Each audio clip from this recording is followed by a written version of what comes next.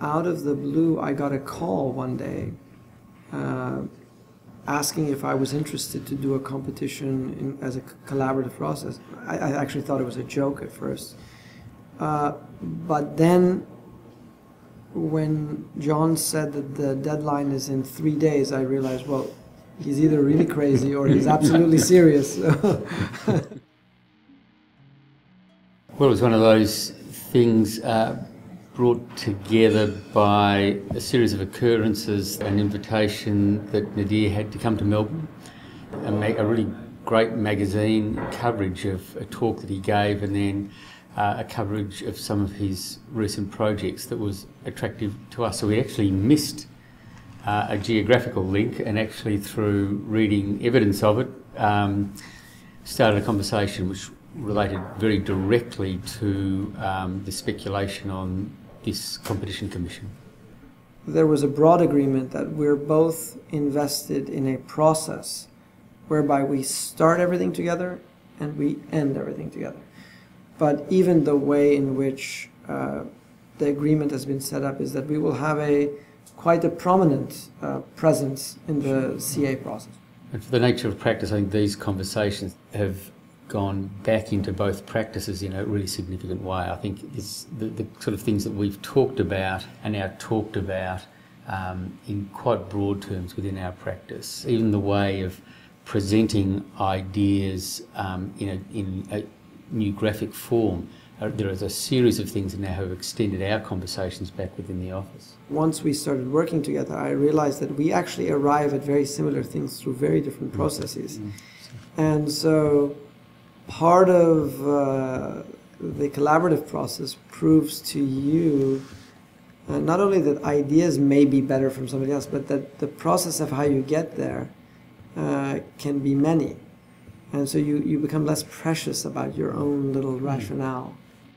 It was a two stage competition, yeah. meaning that in the first stage we only had to develop what I think was seven spreads or something very, very limited. Mm and we had to jot down ideas very fast.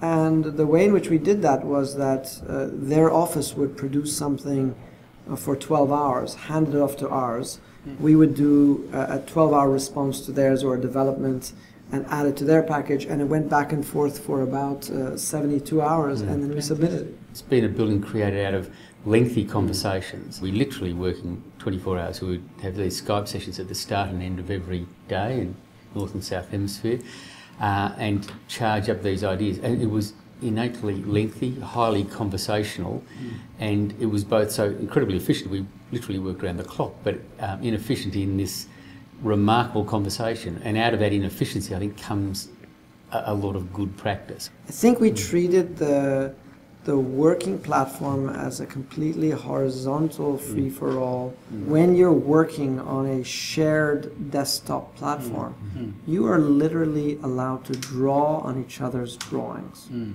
Uh, what is traditionally thought of as the sacred ground mm. of your own tablet is all of a sudden being added onto and contaminated by another person's hand. And that is probably the most important and refreshing aspect of collaboration. You simply mm. have to be open mm. to being corrected. The most amazingly beautiful and haphazard and weird and wonderful um, diagrams and over sketchings that actually mm. layer both the presentation of the ideas and its further development mm. in both really finely wrought and quite true, crude terms um, in the ebb and flow of the design processes mm. of the job. We were really thinking about uh, those conceptual categories that Tom had put on the table, the, the notion of a pedagogical building.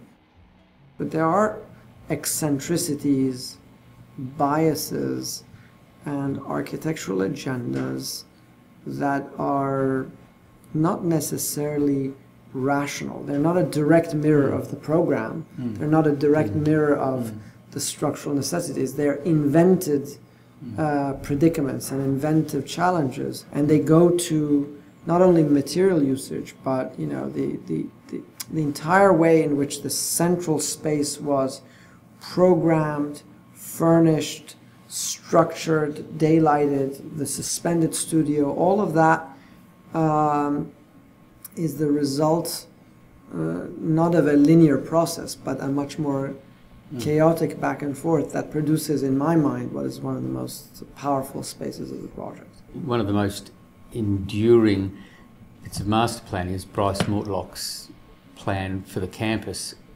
aspects of which still are provided as creditable information for new buildings to be created on campus now. So, and he talked about a series of urban rooms. He, he observed what, what existed, which were great landscape spaces between buildings and how they functioned as spaces in their own right. They weren't passive spaces, they actually were active and closed spaces enclosed by the, the external walls of surrounding buildings that created a series of distinct uh, urban rooms. There was a, a, a, deep sense of recognition that we're not doing a building on campus.